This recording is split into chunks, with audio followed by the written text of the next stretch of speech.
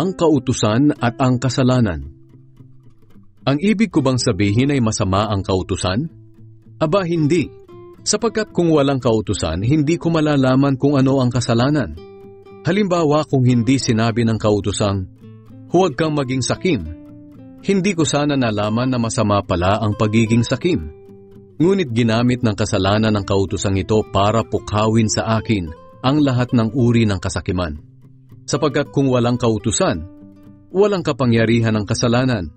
Noong una nabuhay ako ng walang kautusan, pero nang malaman ko ang kautusan, nalaman kong ako pala'y makasalanan at nahatulan na ng kamatayan. Kaya ang kautusan na dapat sana'y magbibigay ng buhay ang siya pang nagdulot sa akin ng kamatayan, sapagkat ginamit ng kasalanan ng kautusan para dayain ako at dahil dito nahatulan ako ng kamatayan, dahil hindi ko masunod ang kautusan. Pero sa kabila nito, banal pa rin ang kautusan.